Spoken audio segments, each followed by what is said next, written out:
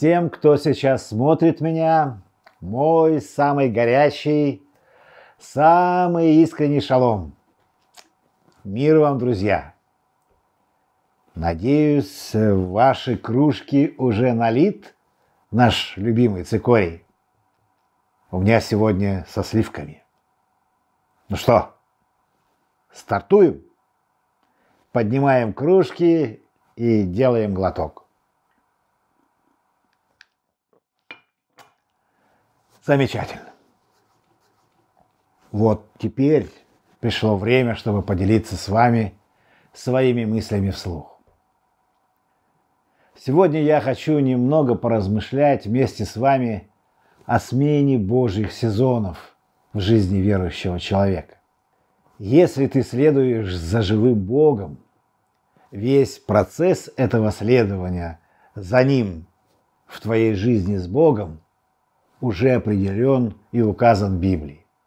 От славы к славе и от веры к вере.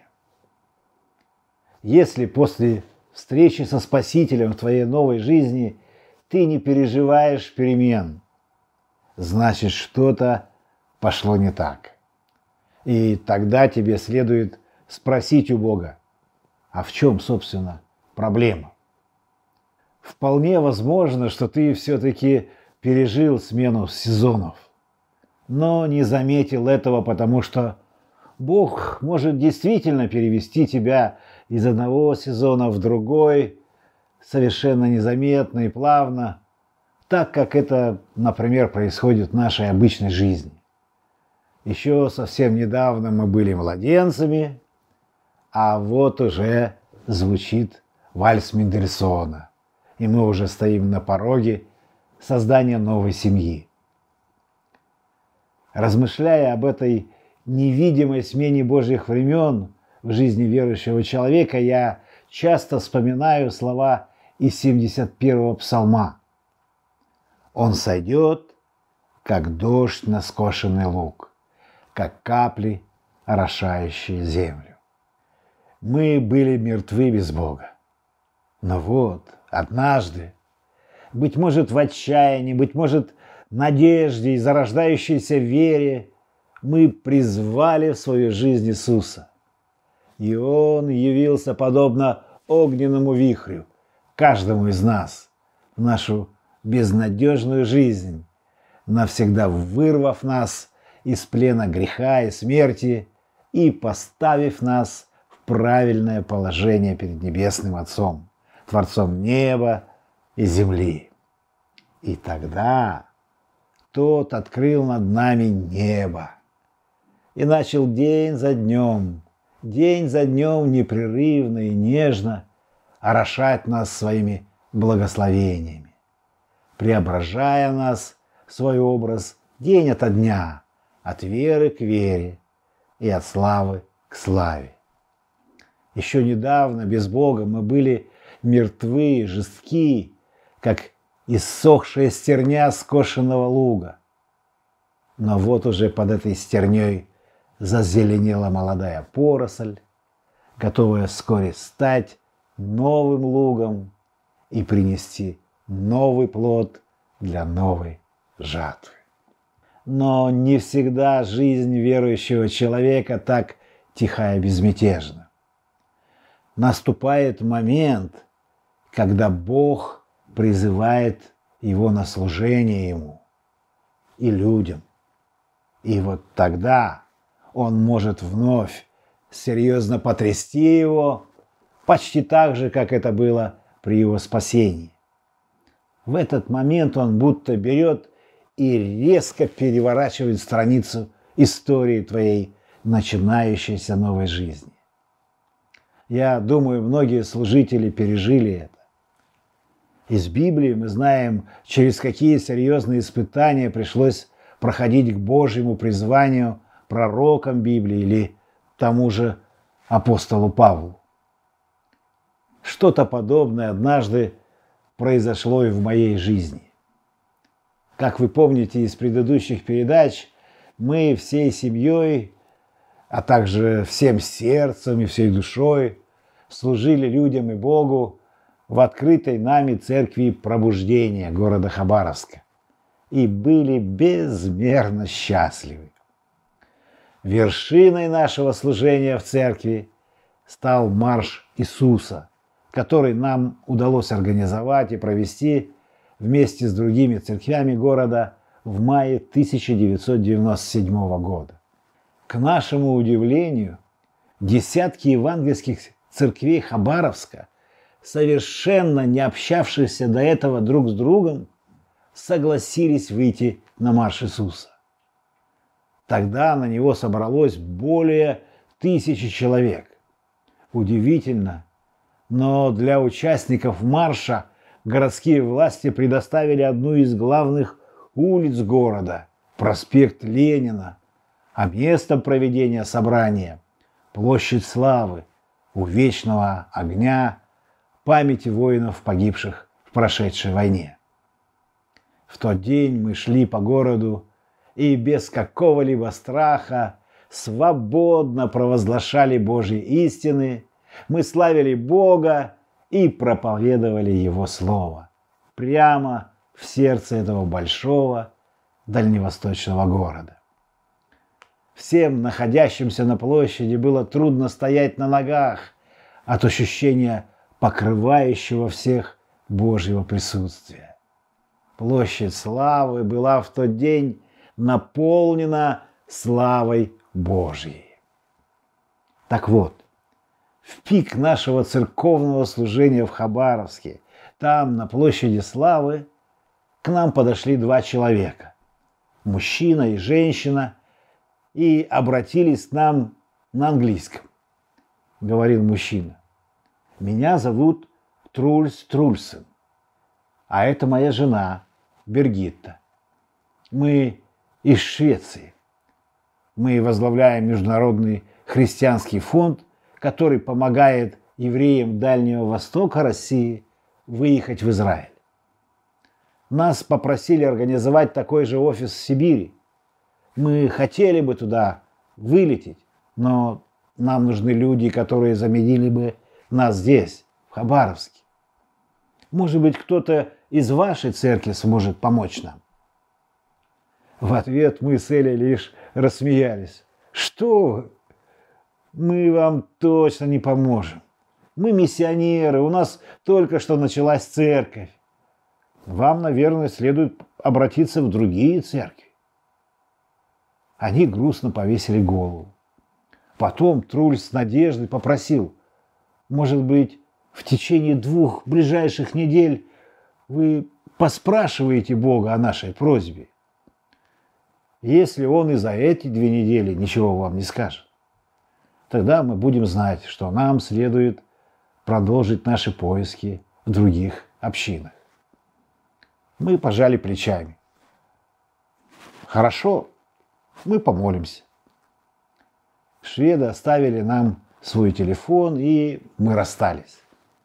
За две недели Бог ничего не сказал нам в наших молитвах мы вместе с некоторыми служителями церкви приехали в офис фонда и рассказали об этом Трульсу и Биргит. Они очень расстроились. Мы еще какое-то время пообщались и уже начали прощаться. Зазвучала известная всем молитва «Господь, благослови их путь». И в этот момент я вдруг услышал внутри себя громкий и грозный голос Бога. Если ты сейчас во время этой молитвы не скажешь «да», то уже никогда не получишь то великое, что я приготовил для тебя. Я стою и с открытыми глазами неожиданно вижу себя, находящегося и плывущего посреди широкой полноводной реки. Бог будто поднимает меня над рекой так, что я вижу, как она у горизонта впадает в необъятный океан. Я хочу поместить тебя туда. Вновь услышал я голос Бога. Невиданный страх завладел моим сердцем. Передо мной тут же замелькали лица моих церковных братьев и сестер, которым благовествовала наша миссионерская команда. Я, что из сил, сжал губы. Нет, я ни за что не скажу «да». В это время Господь произнес. До конца молитвы осталось три секунды. И я до сих пор не понимаю, как тогда открылся мой рот. Мы закончили библейскую школу слова жизни, сказал я дрожащим голосом. И, и мы знаем, что в последние времена, в которые мы сегодня живем, для церкви одинаково важно не только нести Евангелие до краев земли, но и благословлять еврейский народ, помогая в его возвращении в обетованную ему Богом землю Израиля. Поэтому я и моя жена Эля готовы участвовать в работе вашего фонда в Хабаровске. Эля с изумлением смотрит на меня. Я сам не верю тому, что я только что сказал. Наши друзья, с которыми мы пришли, тут же выскочили из офиса, посчитав нас за предателей.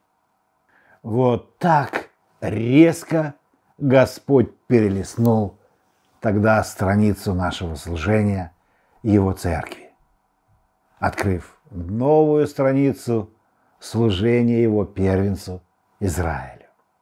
Он будто на самом деле забрал нас из своей реки и зашвырнул куда-то неведомо далеко в свой океан, в котором уже не было берегов, а были лишь безграничная водная гладь и безграничное небо над головой.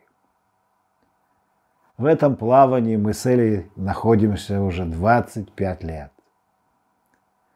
Наверное, только сейчас мы приблизились к пониманию Божьей истории в дарованном нам Всевышнем Божьем Слове. Об этом я и буду делиться с вами в моих последующих мыслях слух. Ну, а сейчас пришло, пришло время попрощаться с вами. До следующей встречи через неделю, друзья. Ну, а тех, кто вместе со мной переживает невероятные события в жизни героев моего киноромана «Ты мой», я приглашаю на просмотр его очередной главы. Не пожалеете. Да, чуть не забыл. Еще раз всем пейте цикорий. Пока.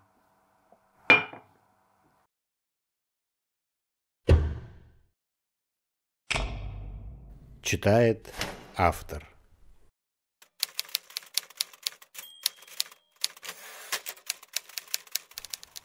От кого? Урлики, Новак, Финляндия, Ювескюли. Кому? Яну Новаку. Россия, Дальний Восток, Хабаровск. 12 мая 1998 года. Дорогой Ян, Следуя твоему примеру, я также решила поприветствовать тебя по-биробиджански. Шалом. Спасибо за твои письма, мой дорогой муж. Особенно хочу поблагодарить тебя за историю о простых еврейских семьях, переживающих невероятные трудности на пути в Израиль. Каждый раз, читая их, я восторгаюсь Господом – дающим этим драгоценным людям надежду и выход из тех ужасных обстоятельств жизни, в которых они оказались. Признаюсь, нас немного огорчило то, что ты не обнаружил каких-либо следов пребывания Мера, Матиша и его потомков в Биробиджане.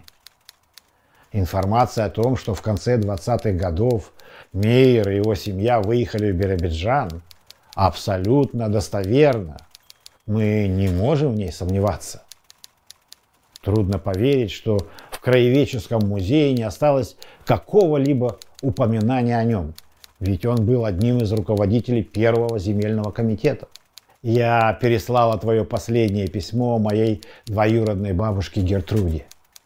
У нее появились интересные предположения по поводу еврея-оленевода из Чукотки.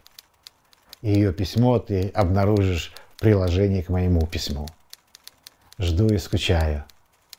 Твоя жена Ульрика.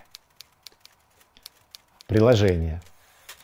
От Гертруды Хейнс, Австрия, Зальцбург. Кому? Яну Новаку, Россия, Дальний Восток, Хабаровск. Дорогой Ян, спасибо за твою помощь в поисках потомков Мейера Матиша в Биробиджане. Мейер – единственный из большого и древнего рода Матишей, оставшийся в живых после Холокоста. Мне кажется, что есть причина, по которой Мейер оказался в забытии, и со временем она, эта причина, откроется. Просто нам не нужно терять надежды. Меня очень заинтересовала история об еврее из Биробиджана, 25 лет проработавшем в Чукотском стойбище оленеводом. Когда я прочитала о нем в твоем письме, Господь проговорил мне, чтобы я профинансировала эту поездку, сколько бы она ни стоила. Ты можешь сказать об этом твоему начальнику, которого, как я поняла, зовут Борис. Но я оплачу эту поездку при одном условии. Если с Борисом на Чукотку поедешь ты. Надеюсь, для него это не составит большого труда. Верю, что над всем происходящим стоит сам Бог. Нам нужно лишь оставаться послушным Ему. Буду с нетерпением ожидать твоего отчета о поездке на Чукотку и прими мои благословения. Гертруда Хейнс – урожденная Шеллинг.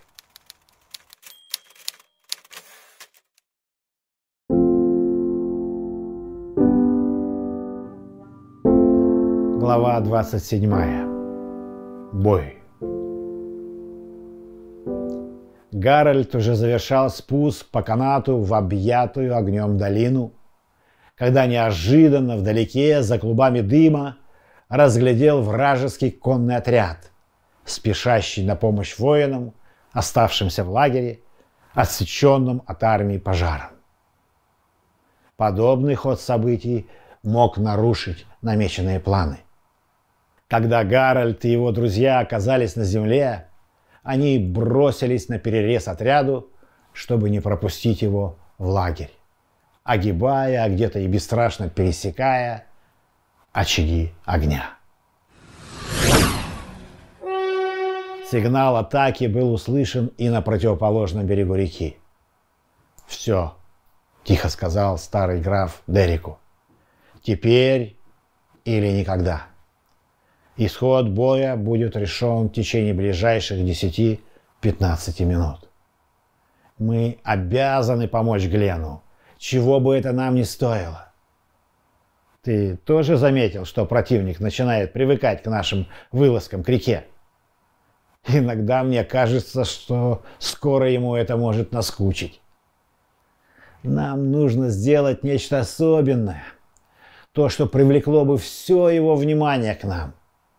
А Фрэнку и его товарищам дало бы возможность скрытно пробраться к охране знамени. Чуть подумав, граф окинул взглядом свое немногочисленное окружение и неожиданно скомандовал. Всем приготовиться к переносу плота. У большинства этот приказ вызвал недоумение. Гать выстелена лишь наполовину. По уложенным бревнам нам удастся протащить плот лишь на это расстояние. Извините, господин, но что вы прикажете нам делать дальше, когда гать закончится? Граф ответил тихим и спокойным голосом. Когда закончится гать, мы положим наши щиты на плот, постараемся оторвать его от земли, чтобы сделать несколько шагов к реке. Кто-то тут же прокричал. Но это верное самоубийство. Нас просто забросают камнями и стрелами. Да, так оно и будет. Будет больно, и, может быть, действительно прольется чья-то кровь, согласился граф. Но сейчас это единственная возможность заставить всех оставшихся в лагере сосредоточить свое внимание на нас и на какое-то время забыть о знамени. Ради этого мы и сделаем эти несколько шагов с платом в руках. После короткого молчания кто-то спросил, а что будет дальше? Дальше? Все так же спокойно продолжил Дешалье. Дальше мы опустим плот на землю, возьмем всего наши щиты и, укрывшись ими, будем стоять на месте. Стоять под камнепадом и сотнями летящих на тебя стрел не выдержал кто-то. И до каких, извините, пор? До тех самых пор, пока не раздастся сигнал о победе, господа. Верю, он прозвучит с нашей стороны. Подвел итог сказанному граф. Надеюсь, теперь вам приказ понятен? Понятен. А если так, приготовиться к переносу плота. Фридрих был вне себя. Его многочисленная армия не смогла справиться с горской противника. Мало этого, у Глена появился реальный шанс вырваться из окружения. Неожиданный отчаянный прорыв его отряда привел в замешательство конницу неприятеля – ее ряды были расстроены, открывая Глену и его друзьям широкий коридор для отхода. Фридрих понимал, если сейчас он позволит отряду Глена сделать это, победа, которая, казалось, уже была у него в руках, может ускользнуть навсегда. Он совершенно не был уверен в том, что воины, оставшиеся в лагере и спешащий на помощь им отряд Курта, смогут сохранить знамя безопасности. Глен развернул отряд в сторону образовавшегося в рядах неприятеля коридора. «Уйдет!» – отчаянно прокричал кто-то из командиров. «Ведь уйдет же!» Фридрих знал, как остановить Глена. «Поединок!» – отчаянно прокричал он вслед удалявшемуся отряду. «Послушай меня, Глен Дешелье! Я вызываю тебя на поединок!» Глен резко остановил Рапсана и медленно развернул его в сторону предводителя. «Не верьте ему!» — умоляюще проговорил следовавший за командором сигнальщик. «Прошу вас, не останавливайтесь! Через минуту у нас уже не будет возможности вырваться на свободу!» Глен окинул взглядом оставшихся в седлах воинов своего отряда и, улыбнувшись, ответил сигнальщику. «Ты прав, дружище. Если мы задержимся, то можем действительно потерять последний шанс на спасение и на победу в этом бою. Но соперник вызвал меня на поединок. Понимаешь? на поединок.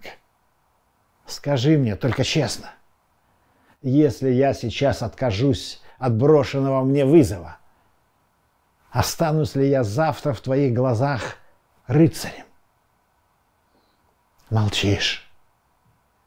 Я должен принять этот вызов, чтобы не позволить ни одному из тех, кто сегодня сражается против нас, завтра, после этого боя, назвать меня трусом.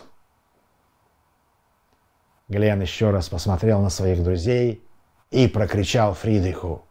«Я принимаю вызов. Прикажи своим воинам убрать мечи. Мы прекращаем бой. Только ты и я. Пусть поединок определит победителя».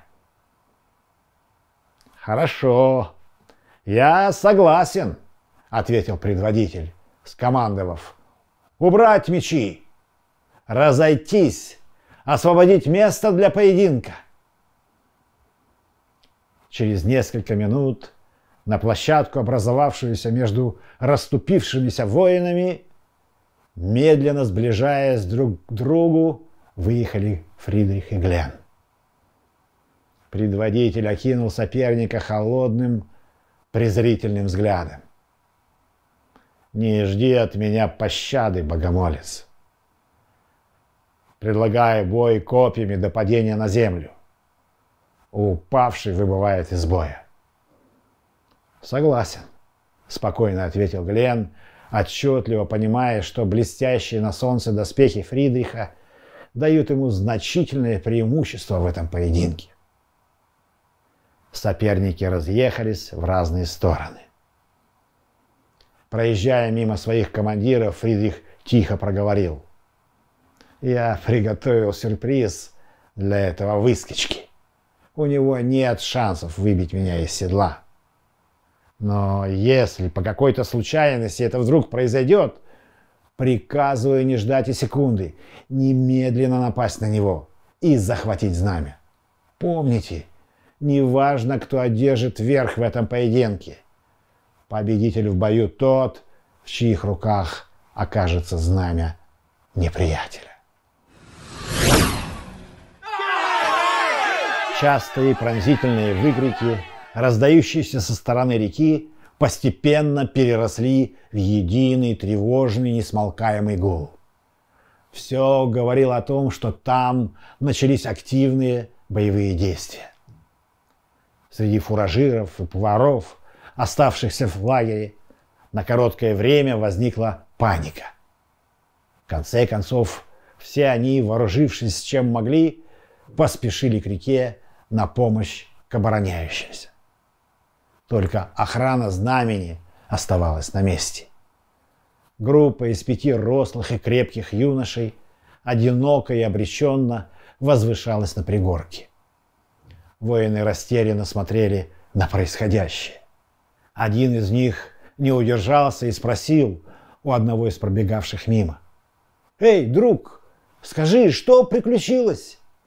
«Вы разве не знаете?» – удивился тот. Да там такое! Настоящий штурм! Они все-таки решились на переправу и потаскивают к реке плод. Но вам, ребята, не стоит опасаться прорыва со стороны реки. Охраняйте знамя. Мы их сюда не пропустим. Через минуту лагерь опустел. У реки, похоже, действительно шел бой. Оттуда то и дело раздавались то радостные, то отчаянные возгласы. Здесь же, в самом сердце лагеря, становилось все тише. Ветер от реки отгонял начинающий затихать пожар, трепал пологи опустевших палаток, шуршал травой под ногами одиноко стоящих на пригорке и ощущавших себя всеми оставленными охранников знамени. Старший из них окинул строгим взглядом притихших подчиненных, сжал древко знамени в руке и хриплым от волнения голосом приказал. «Всем ожидать атаки со стороны реки! Оружие на изготовку!»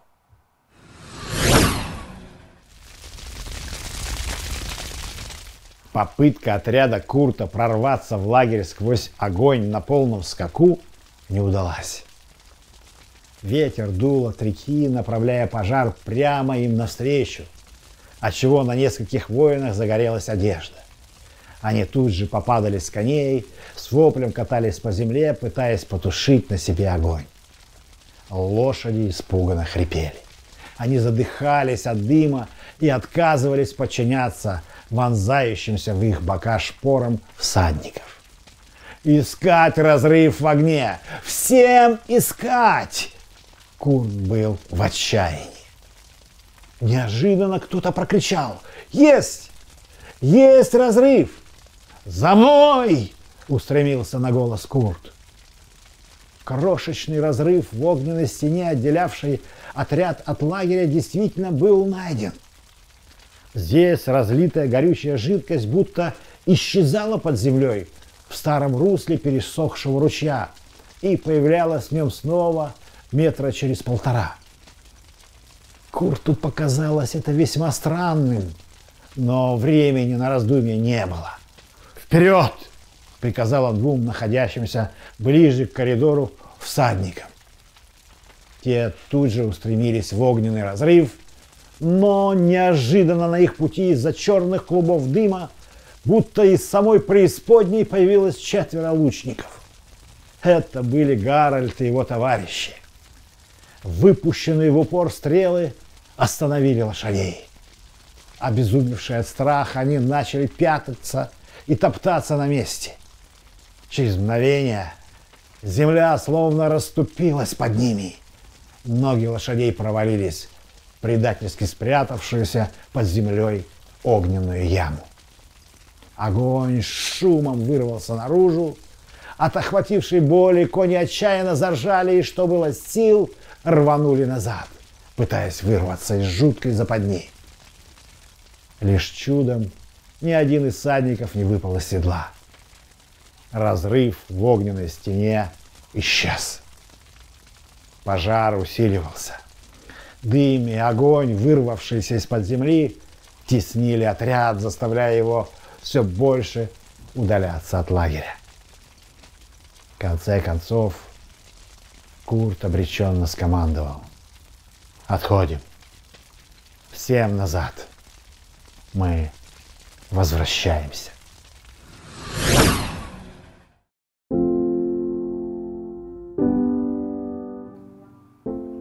Глен и Фридрих заняли позиции. В искрящихся на солнце доспехах, в шлеме с черными страусовыми перьями, Фридрих гордо восседал на высоком статном коне. Он был совершенно уверен в том, что его противник, облаченный в легкие кавалерийские одежды, не имеет ни единого шанса устоять под ударом его копья. Глен склонился, обнял Рапсана за шею и прошептал ему прямо в ухо. «Ну, сын Грома, пришел твой час. Мне не выдержать его удара. Так что это твой бой. Ты знаешь, что нужно делать. Столько раз мы повторяли это с тобой на тренировках с Дереком. Единственная проблема Твоя грудь не защищена. Мне пришлось убрать с нее защиту, чтобы ты был сегодня быстрым. Тебе будет больно. Надеюсь, копье не нанесет тебе большой раны, ведь оно учебное. Просто кусок дерева. Но нам же не привыкать к боли. Не так ли, дружище? Ты победитель, Рапсан. Ты был таким рожден, и потому ты должен победить. Фридрих не спеша опустил забрало, прижал к локтю тяжелое копье, направил его параллельно земле и, пришпорив коня, устремился на поле боя. Глен едва успел скомандовать «Вперед!» и тут же почувствовал, что земля под ним на какой-то миг будто исчезла. Разгоряченный, жаждущий схватки Рапсан, что было сил, рванул навстречу неприятелю в неудержимом аллюре.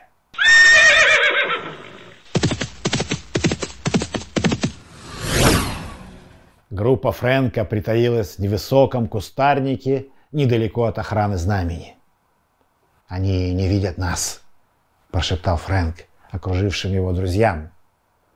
Нужно пересечь поляну максимально тихо и быстро. Чем неожиданнее окажется для них нападение, тем больше шансов у нас будет завладеть знаменем. Тим, Бат, Питер, Арье, вы должны вывести из строя тех четверых, что окружают командира охраны. Остальные вместе со мной займутся самим командиром. Надеюсь, Робби, ты не забыл о том, что должен сделать? Тот улыбнулся в ответ. Дело не хитрое. Как забыть? Ну, если так... Фрэнк окинул отряд взглядом. Минута на сборы. Атака по команде.